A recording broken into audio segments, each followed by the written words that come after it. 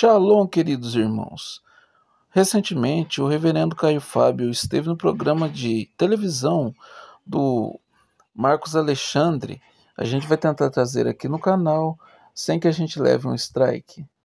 Até porque nosso canal já está pendurado aí com strike, porque o Rogério Vilela, do podcast Inteligência Limitada, é, nos premiou aí com um strike. Então não posso adquirir três strike.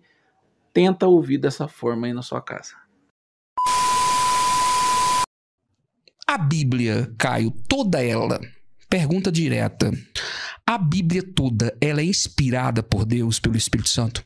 A Bíblia toda é inspirada por Deus e as inspirações que ela recebeu tiveram as suas pertinências absolutas no tempo em que foram inspiradas.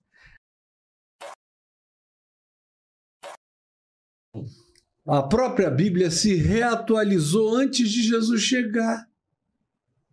Por que, que uma quantidade enorme de coisas da Torá do Pentateuco, dos cinco primeiros livros da Bíblia, pararam de ser praticadas durante o próprio Velho Testamento. Por quê? Tem uma quantidade enorme de coisas da lei de Moisés que estiveram em vigência, algumas delas eram para ter entrado em vigência absoluta, aí foram praticadas relativamente durante o deserto. Quando entraram na terra de Canaã, a maioria delas parou de ser praticada durante cerca de 300 anos. Aí vem Davi, aí Davi pratica solitariamente, porque não tinha templo, os sacerdotes estavam todos espalhados, muitos deles perseguidos, ah, não havia livro. Você pegou a Bíblia já aqui várias vezes. A Bíblia, como livro, é uma coisa muito antiga. No Velho Testamento de Moisés, tinha tabletes.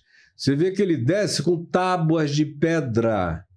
Havia uma quantidade enorme de tabletes que diziam as coisas e as legislações que Moisés tinha dado. Mas eles demoraram muito a ser reorganizados.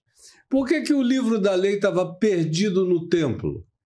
Porque não era um livrão, não era uma quantidade enorme de pergaminhos.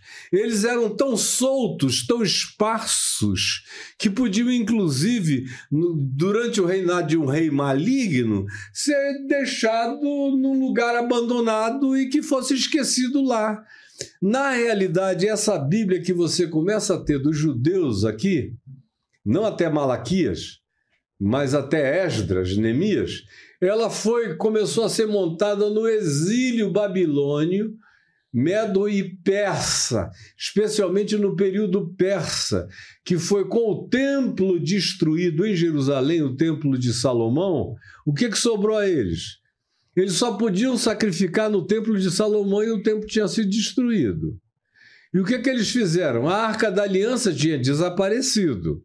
Tinha acabado toda a sacralidade daqueles objetos e relíquias e de cultos. E eles não tinham permissão para sacrificar fora do altar em Jerusalém. Tanto é que os samaritanos passaram a fazer isso, foram considerados hereges até o dia de hoje. Então, o que, que aconteceu? Eles foram para o cativeiro sem nada. A palavra corria em memória. Era tradição oral. Histórias, né? Histórias.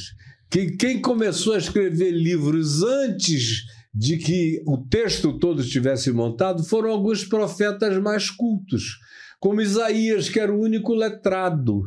Os demais eram iletrados, precisavam de algum escriba que se impressionasse com a palavra que eles falassem para ir fazendo os registros. É bem depois que isso tudo é ajuntado. Mas o pessoal pensa que veio do céu, caiu assim, veio voando com asas de anjos e caiu na cabeça do pessoal. Isso aqui tem 1700 anos de idade de Constantino para cá.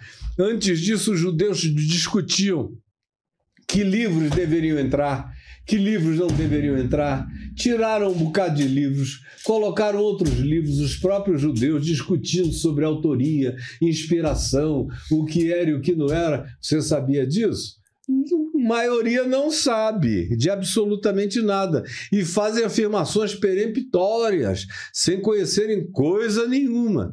Então, a própria Bíblia foi se atualizando durante o próprio Velho Testamento. Você vê Isaías fazendo reparações ao Velho Testamento. Você vê Isaías fazendo reparações aos rigores do Velho Testamento. Você vê profetas dizendo: não é sacrifício que eu quero. O Senhor diz: A Bíblia é a palavra de Deus? Misericórdia. A Bíblia é palavra de Deus em tudo quanto nela ainda é pertinente.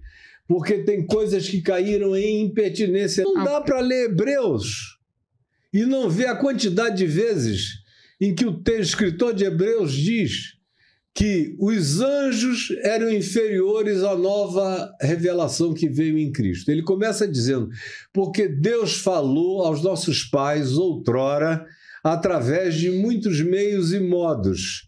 Ah, falou através de patriarcas, falou através de profetas, falou através de anjos, e nesses últimos dias nos falou através do seu filho, a quem constituiu o herdeiro de todas as coisas, a plenitude de todas as coisas, a imagem e a expressão exata do ser de Deus. Aí você vai lendo Hebreus, ele diz: os anjos são inferiores a essa nova revelação. E o que é que se diz do Velho Testamento? Foi uma revelação dada por anjos. São inferiores a essa nova revelação. Moisés, ele menciona, é inferior a essa nova revelação, porque ele mesmo tinha dito: virá alguém depois de mim que vos dirá tudo quanto tem que ser feito. Ele mesmo sabia da relatividade e da temporariedade do que ele estava fazendo.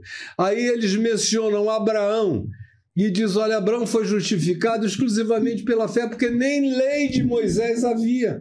Como é que alguém poderia se justificar pela lei se nem lei havia? Chegamos no consenso. Vamos lá, Caio. Então, se o Velho Testamento ele está entre, claro, ultrapassado, não, não está está condicionado ao que é pertinente passa. Mas aí o senhor está entrando em de contradição, porque eu vi um vídeo seu. Filtro eu, eu de posso até Jesus. colocar para o senhor, que o senhor é bem claro na Ah. pandemia, o senhor é bem claro como água cristalina. O senhor deixa claro que Jesus é a palavra de Deus. Claro, a única. Amém. Ele é o verbo, palavra de o Deus. absoluto.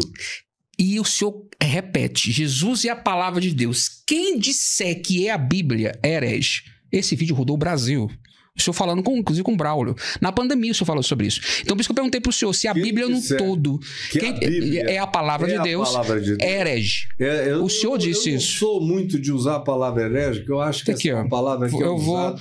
mostrar pro senhor. Posso botar? Eu não vou te dizer que eu não falei. Pois é, é por isso que eu vou te perguntando para tirar essa é dúvida. uma palavra que eu costumo dizer, Sim. porque eu acho que ela tem uma soberania muito peremptória. Temos um vídeo sobre. Então, Vamos falar sobre a, Jesus. A Bíblia, É a palavra de a Deus. Bíblia, não, Jesus é a palavra de Deus. E a Bíblia é a palavra de Bíblia é a Deus. palavra de Deus todas as vezes que ela concorda com Jesus.